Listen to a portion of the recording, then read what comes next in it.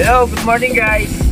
Ah, meron nga palang lumapit sa ating followers, nangingi siya ng dalawang breeders ng babaeng tilapia at saka dalawang barakong tilapia. Siguro gagamitin si school, baka mag-experiment siguro sila.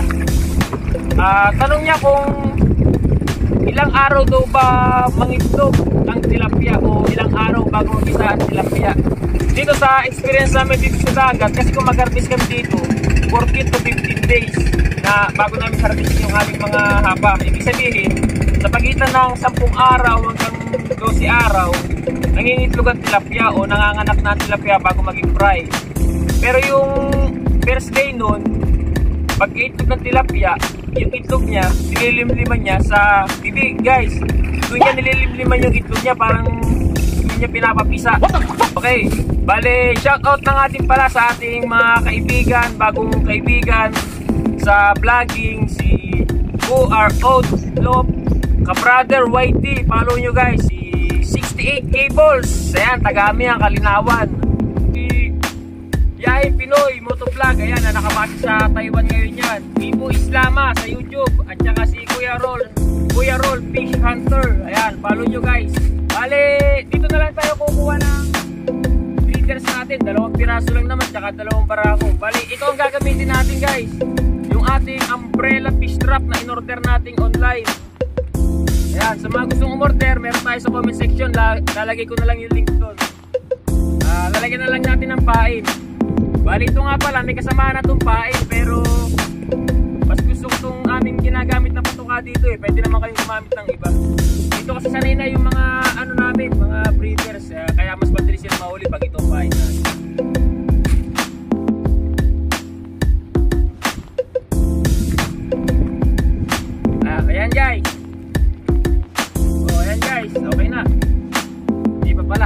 Nakalak sa ilalim. Wala rin tayo mahuhuli.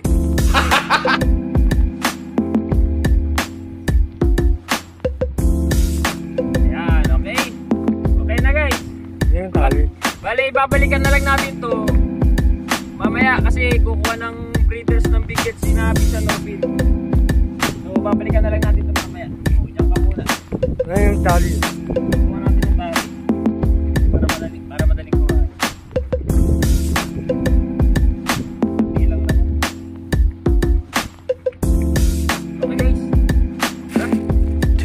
2,000 years later. Guys, natin kung may huli. Dos, ikaw na nga mag-angat. The moment of truth. Tandaan lang.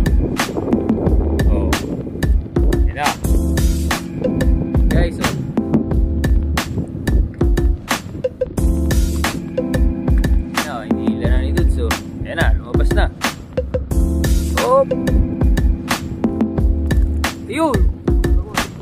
Ilan? Tatlo. Wow! Huli oh, ayan. Bibigyan natin kay Yob siya. Ah, saan natin ilalagay? Saglit lang, meron agad, no? Ah, pagka order kayo nito guys, pwede ito sa mga fish pan. Pagka konti lang naman ang kukuhaan yung pang ulam. Ito, hindi na kayo mag pupukot, hindi na kayo mag-aangat. Kung halimbawa kids pan,